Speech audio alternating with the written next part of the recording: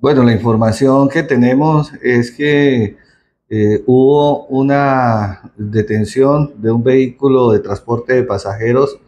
de una de las empresas que desarrolla sus operaciones en Arauca, eh, que la atravesaron en la vía.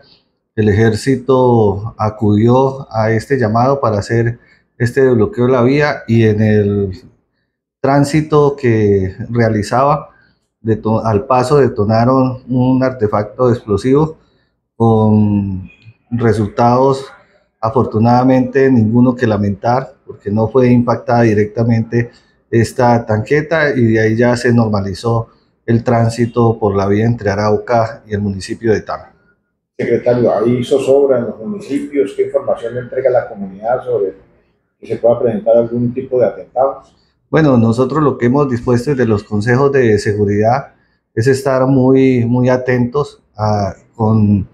frente a cualquier suceso que pueda realizarse por parte de los grupos armados ilegales en el departamento de Arauca eh, contra la fuerza pública y que puedan afectar desde luego a la población civil. Por eso nosotros seguimos insistiéndole y haciéndole la exigencia a los grupos armados ilegales del ELN, de las disidencias de las FARC, a que cesen sus hostilidades, que den muestras reales de querer abordar de nuevo el proceso de paz y sobre todo que se respeten las normas del derecho internacional humanitario y que se excluya a la población civil del conflicto. De igual forma, seguimos insistiéndole al gobierno nacional para que en este congelamiento de las mesas se pueda hacer una reestructuración del proceso de paz que sentimos que al momento ha fracasado para que se pueda reinventar la estrategia de negociación con los grupos armados ilegales y que se replantee también el papel que viene desarrollando el señor Oti Patiño, alto consejero para la paz,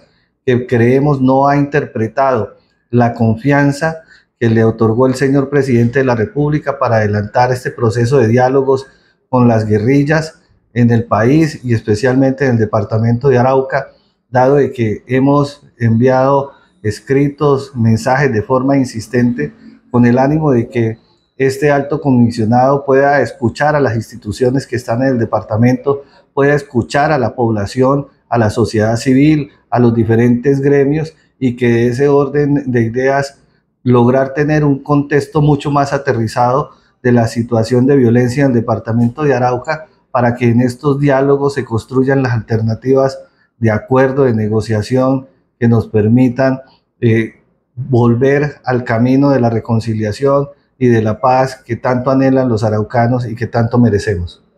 Secretario, con la llegada de nuevo personal uniformado al departamento de Arauca, ¿cuál es ese llamado que le hace la entidad gubernamental a, esas fuerzas militares para que sigan garantizando la seguridad de los araucanos? Bueno, desde el Consejo de Seguridad que se desarrolló el pasado 18 de septiembre en la brigada con presencia de la alta cúpula militar, con presencia del comandante en jefe de las fuerzas militares, el almirante Cubides, eh, se determinó un incremento del pie de fuerza de 500 eh, soldados, de 30 infantes de marina y de 50 nuevos miembros de la Policía Nacional para el fortalecimiento de los dispositivos de seguridad en el departamento de Arauca y para el desarrollo de las operaciones militares que permitan eh, contrarrestar la acción de los violentos o anticiparse a cualquier situación que se lograse eh, presentar eh, por parte de estos grupos armados ilegales. Nosotros confiamos en que la fuerza pública